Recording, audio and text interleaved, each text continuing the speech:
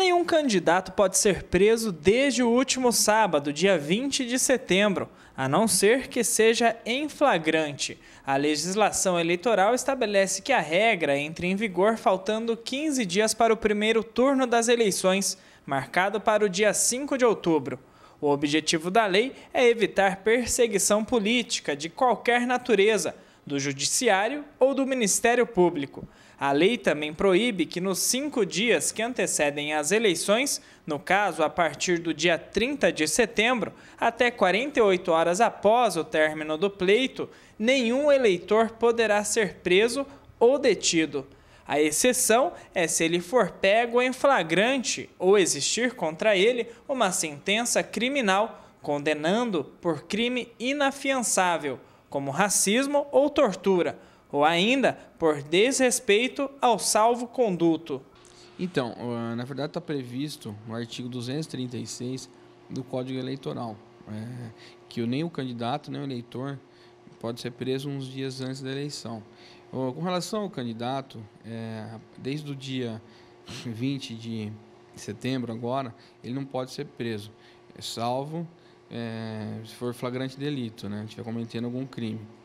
Isso é na, é, é, é, foi instituído pelo Código, que é a Lei 4767 é, de 65, que é o código nosso Código Eleitoral. Isso é para evitar que antigamente é, prisões arbitrárias, entendeu, privavam o candidato de fazer sua propaganda, né?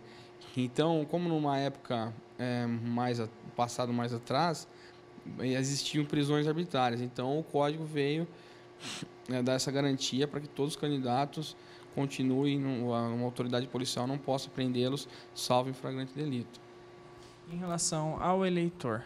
Relação ao eleitor, é assegurado também para que o Código pensou também que poderia a, a autoridade policial acabar prendendo eleitores, sabendo ah, é, da, é de tal partido, tal candidato. Então, para assegurar também a liberdade de voto, o eleitor ele não pode ser preso desde o dia, aliás, não poderá ser preso desde o dia 30 de setembro até 48 horas após a eleição.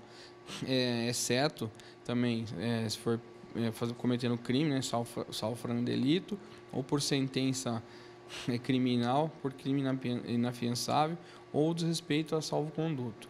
No segundo turno, ah, desde o dia 21 de outubro, o eleitor não poderá ser preso. E os candidatos, desde o dia 11 aqueles que participarão de outubro não poderão ser presos também.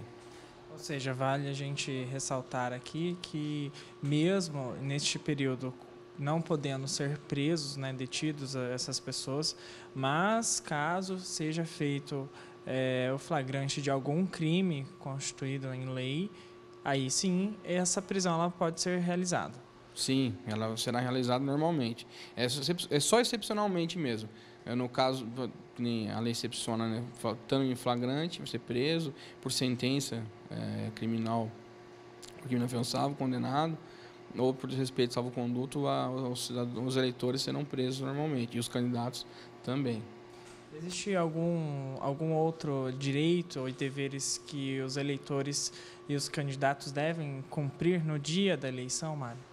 Ah, no dia da eleição, o, o, candidato, na verdade, aí já acabou, né? Porque a, a, propaganda política dele, ela vai até a véspera da eleição. Então, ou seja, no sábado, dia 4, até as 10 horas da, da noite. Após isso, o dia da eleição, qualquer tipo de propaganda é vedado pelo candidato. Agora, quanto ao eleitor, ele, assim, o, o voto é obrigatório, né? Ele tem que votar ou justificar. Então, que ele compareça a uma sessão eleitoral no dia 5 de outubro e faça seu voto. O que é interessante também pra, porque ele está ajudando a, a, escolher, né? A partir do momento em que ele não participa, ele está deixando que as outras pessoas façam a escolha no seu lugar. A regra também vale para o segundo turno, marcado para o dia 26 de outubro. A partir do dia 11 de outubro, nenhum candidato que disputar o segundo turno para presidente da República ou governador de estado poderá ser preso ou detido, apenas em flagrante delito. Em relação aos eleitores, ninguém poderá ser preso a partir do dia 21 de outubro, até 48 horas após o encerramento da eleição, salvo se for pego em flagrante.